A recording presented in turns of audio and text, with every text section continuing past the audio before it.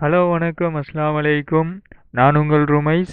போன தொடரில் நாங்கள் சார்ல்ஸின் விதியை பார்த்தோம். இந்த தொடரில் அவகாதரோ விதியை பார்க்க போகிறோம் ஒவ்வொரு முறையும் நாங்கள் ஒவ்வொரு ஒரு ஹெடிங்காக பார்த்துட்டு வரோம்.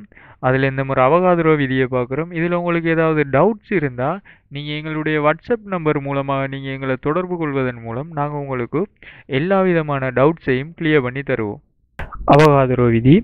குறித்த வெப்ப அமுக்க நிபந்தனையில் சமகனவளவு வாயுக்கள் சம எண்ணிக்கையான மூல்களை கொண்டிருக்கும் அல்லது மூலக்கூறுகளை கொண்டிருக்கும்.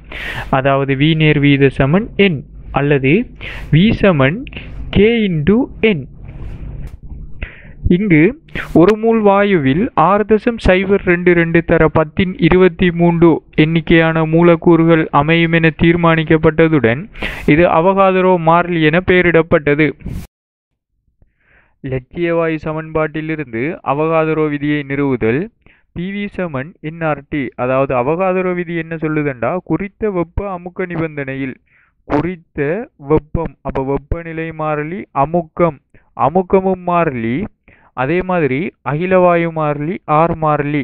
இதை நாங்கள் எழுதலாம். வி சமன் கே இன்டு என். அதாவது குறித்த வெப்ப அமுக்க நிபந்தனையில் சம கனவளவு வாயுக்கள் சம எண்ணிக்கையான மூல்களை கொண்டிருக்கும். இங்கே நாங்கள் மூளை எடுத்துக்கொண்டோம்டா மூல் சமன் மூலக்கூறுகளின் எண்ணிக்கையின் கீழ் அவகாதரோவின் மாறிலி. இதை நாங்கள் எப்படி போடலாமண்டா வி சமன் கே இன்டூ மூலக்கூறுகளின் எண்ணிக்கையின் கீழ் அவகாதரோவின் மாறிலி என்று போடலாம். அவகாதரோவின் மாறிலி ஏற்கனவே மாறிலி என்றதால் அது மாறிலி என்றதால நாங்கள் இங்கே இதை நேர்வீத சமனாக வச்சிருக்கிறதால அவரை விட்டுட்டு பார்த்தோம்டா வி சமன் கே இன்டு என் அதாவது வி நேர்வீத சமன் மூலக்கூறுகளின் எண்ணிக்கை கனவளவு நேர்வீத சமன் மூலக்கூறுகளின் எண்ணிக்கை. இதுதான் அவகாதரோ சொல்கிறாரு குறித்த வெப்ப அமுக்க நிபந்தனையில் சமகனவளவு வாயுக்கள் சம எண்ணிக்கையான மூலக்கூறுகளை கொண்டிருக்கும். அல்லது நாங்கள் இதை எளிய வடிவில் சொல்லலாம். குறித்த வெப்ப அமுக்க நிபந்தனையில் சமகனவளவு வாயுக்கள் சம எண்ணிக்கையான மூல்களை கொண்டிருக்கும் என்றும் நாங்கள் சொல்லலாம்.